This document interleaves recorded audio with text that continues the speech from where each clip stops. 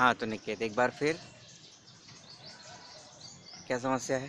आ, समस्या ये आ रही है कि जो बैटरी है वो शायद से पूरी तरीके से डाउन हो गई है आ, क्योंकि सेल्फ स्टार्ट काम नहीं कर रहा है और ना इसमें हॉर्न चल रहा है ना इंडिकेटर चल रहे हैं।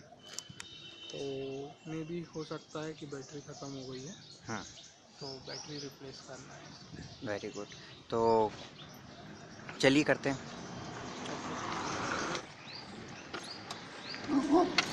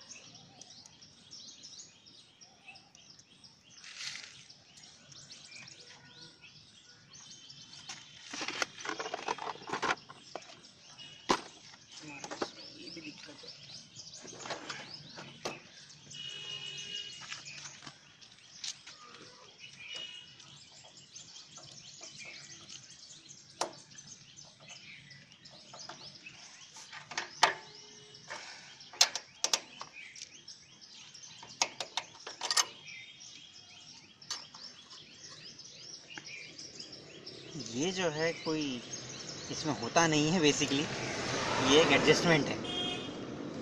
For safety purpose safety purpose तो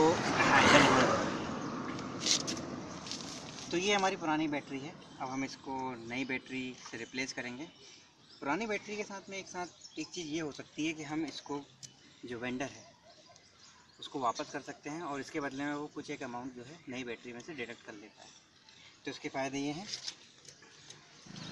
तो ये हमारी नई बैटरी इसको हमने पुरानी बैटरी के साथ में एक्सचेंज किया है और कुछ डिस्काउंट भी मिला है। अब देखिए, इसको लगाने से पहले हमें बेसिकली क्या करना होता है? ये हमारे पास में ध्यान रखने वाली चीज़ें बस ये हैं कि इसमें एक माइनस का होता है और एक प्लस का होता है। यूजुअली इसी में कन्फ्यूज़न होता है। तो नई बैटरी के साथ में आपको एक एसिड फ्लो पाइप दो स्क्रू टर्मिनल और एक कैप मिलेगी। इस कैप का बेसिकली यूज़ ये है कि प्लस के ऊपर इसमें क्योंकि पहले से लगा हुआ तो अपने लगाने की ज़रूरत नहीं है।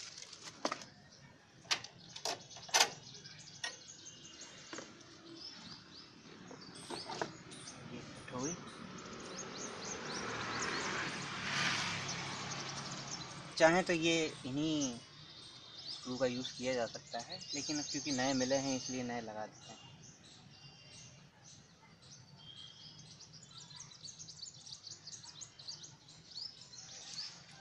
लगाने से पहले एक बार ये भी इसको भी चेक करना होता है कि इसमें कहीं सॉल्ट तो नहीं आया, जैसा कि इसमें दिख रहा है।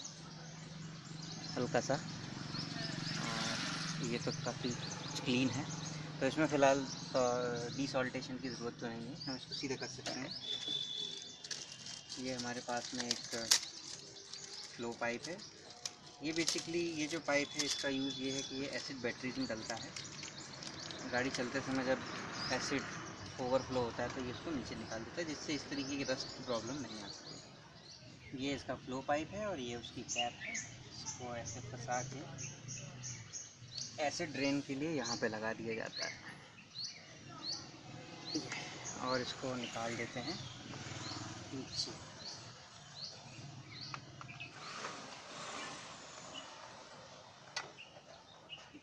नीचे निकला होना चाहिए, जिससे कि एसिड इसमें नीचे की तरफ़ एक कैप इसमें भी है जिसको भी लगा देते हैं।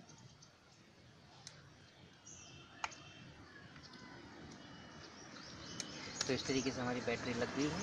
अब आइए चेक करें ये प्रॉपर काम कर रहा है कि नहीं। बंद कर। चल रहा है?